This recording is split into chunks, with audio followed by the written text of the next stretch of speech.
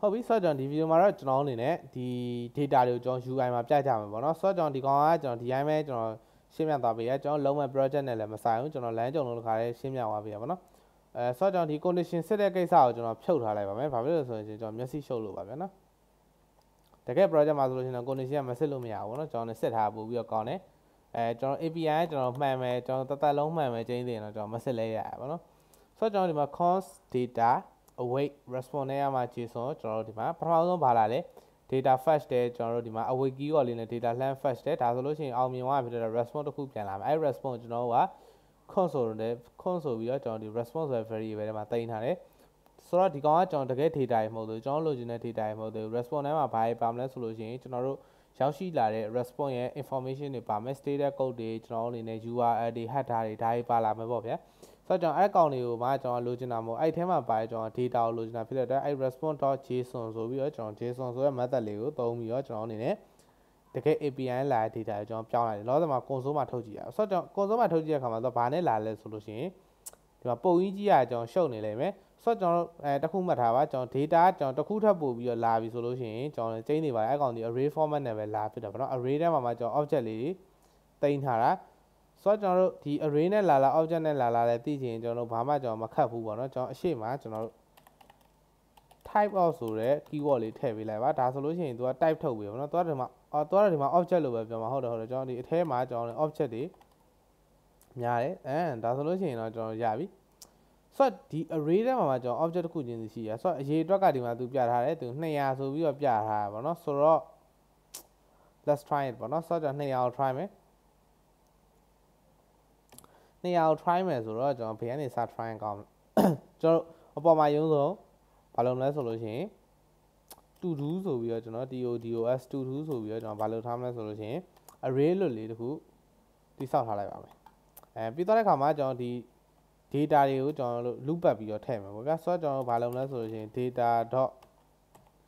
တော် for each method လေးတောင်းလိုက်မယ် for each for each each ဆိုတော့ဒီ for each ထဲမှာကျွန်တော်လည်းဗာလက်ခံလဲဆို callback function တစ်ခုလာတယ် array loop ပတ်တဲ့ပုံစံပဲဗျာဆိုတော့ဒီထဲမှာကျွန်တော် to do တစ်ခုချင်းစီဝင်လာပါဗျာဆိုတော့ to do အဲ့ to do တွေကိုဘာလုပ်မှာလဲဆိုလို့ရှိရင်ကျွန်တော်အပေါ်ထဲကမှာကျွန်တော် to do oh sorry to do ဆိုတာဖြစ်တယ် this ဒီထဲကမှာကျွန်တော်တို့ to do ထဲကိုဘာလုပ်မှာလဲ push ဆိုတဲ့ method လေးသုံးလိုက်မယ် push ဆိုတဲ့ method လေးသုံးရင်ဘာကိုထည့်မှာလဲဆိုရင်ဒီ to do တစ်ခုချင်းစီကိုထည့်ဟုတ်ကဲ့ ဆိုတော့ကျွန်တော်ရေးထားလေးကကျွန်တော်ရိုးရှင်းတယ် data တွေရှိမယ်အဲ့ data တွေကျွန်တော် loop ပတ်မယ်အဲ for each နဲ့ loop ပတ်မယ် loop ပတ်ပြီးသွားတဲ့အခါမှာကျွန်တော်ဒီ data ဆိုတဲ့ array ကိုကျွန်တော် loop ပတ်လိုက်မယ်ဆိုတော့ array ထဲမှာကျွန်တော် object တစ်ခုချင်းစီရှိအဲ object တစ်ခုချင်းစီကိုကျွန်တော် to do ဆိုတဲ့ဒီ parameter လေးကကိုစားပြုတယ်ဆိုတော့အဲ့ကိုစားပြုတာကျွန်တော်အနေနဲ့ဒီအပေါ်မှာရေးထားတဲ့ကျွန်တော် to do ဆိုတဲ့ array ကျွန်တော် array လို့ကြည့်ကြကိုကျွန်တော်အနေနဲ့အဲ့ကိုစားပြုထားတဲ့ object တစ်ခုချင်းစီကိုကျွန်တော်ပြစ်ထည့်ပါတော့ဆိုတော့အောင်မြင်လားမအောင်မြင်လားသိအောင်ဒါပြီးသွားတဲ့အခါမှာကျွန်တော်နောက်ထပ် console တစ်ခုထပ်ထုတ်ထားပါမယ် console.log ကျွန်တော်ဘာထုတ်ထားမလဲဆိုလို့ရှိရင် something အဲ something ဆိုတော့ဒီအပေါ်က to do ကြီးကိုထုတ်ထားကြည့်လိုက်မနော်ဆိုတော့ this ဒီထဲမှာ to do's ပွန်းဟုတ်ဒါဆိုလို့ရှိရင်တော့ဒီမှာအားလုံးမြင်တဲ့အတိုင်းပဲဒီ object အခန်းလေးကျွန်တော်လည်းထွက်လာပါတော့ဆိုတော့ဒီမှာ object လေးကျွန်တော်ထွက်လာတယ်1 0 1 2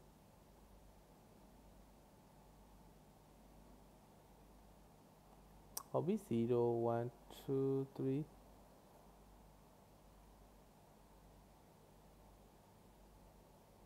ပုံเนาะဆိုတော့ဒီ object လေးတစ်ခန်းချင်းစီကျွန်တော်သိမ်းမိထားတာပေါ့နော်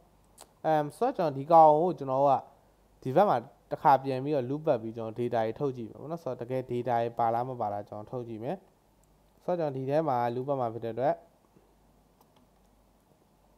sorry ကျွန်တော်ဒီ react နဲ့ရောပါဆိုတော့ကျွန်တော်တို့ဒီမှာ v dash for ကျွန်တော်ねဗာလဲဆိုရင် todo to do in to do's todos to do's ပြီးသွားတဲ့အခါမှာကျွန်တော်ဒီမှာတစ်ချက်ထုတ်ကြည့်အောင်ဒီ to do sorry to do တူတူလေးကျွန်တော်ထုတ်ထားလိုက်ဒါဆိုလို့ရှိရင်ဒီမှာအားလုံးမြင်တဲ့အတိုင်းပဲကျွန်တော်ဒီမှာ data တွေထွက်လာပြီဆိုတော့မှာ user id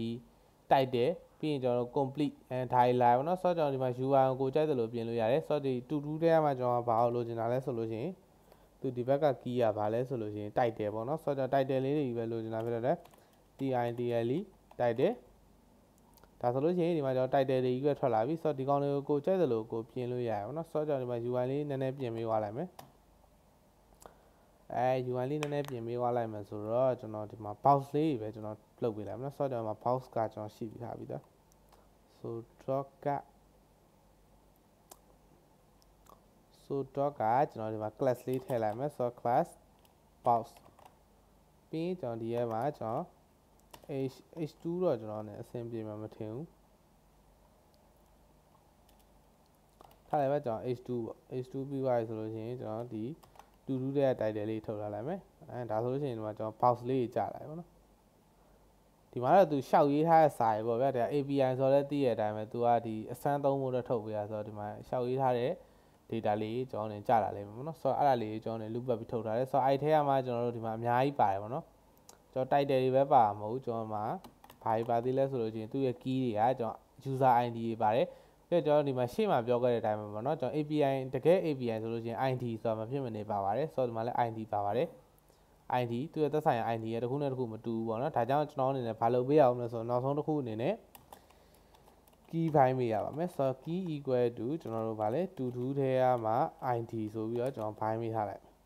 ဒါဆိုလို့ရှိရင်ကျွန်တော် UI မှာတော့ဘာမှမပြောင်းဘူးဒါပေမဲ့ကျွန်တော်တို့အားလုံးသိရတဲ့အတိုင်းပဲเนาะကျွန်တော်တို့ဒီ data အချိန်ပြောင်းနေမှာဆိုလို့ရှိရင်တော့အများကြီးအကျိုးသက်ရောက်ဘူးပေါ့နော်အဲဆိုတော့ကျွန်တော်ဒီ video မှာဒီလောက်ပဲကျွန်တော်အနေနဲ့ဒီ looping loop နှစ်ခါပတ်ပြသွားပါဘောနော်ဆိုတော့ဒီဒီဘက်မှာကတော့ကျွန်တော်အနေနဲ့လာတဲ့ data ဆိုတော့ array ကိုမှကျွန်တော် array method ဖြစ်တဲ့ for each ကိုသုံးပြီးတော့ loop ပတ်ပြီးတော့ဒီ to do ဆိုတဲ့ array တွေကိုကျွန်တော် object တစ်ခုချင်းစီ plan ထည့်တယ်ပြီးတော့ကျွန်တော်အဲဒီထည့်ထားတဲ့ object တွေစုတိုင်း array ကိုမှကျွန်တော်ဒီ template ဘက်မှာတစ်ခါ loop ပြန်ပတ်ပြီးတော့ပြန်ထုတ်ပြရပါတော့ဆိုတော့ဒီ video မှာဒီလောက်ပဲအာနောက်ထပ် video မှာကျွန်တော်တို့ weather project ကျွန်တော်ရေးပေးပါမယ်ဆိုတော့ကျွန်တော်တို့နောက်ထပ် video မှာပြန်ပြီးတော့တွေ့ကြပါမယ်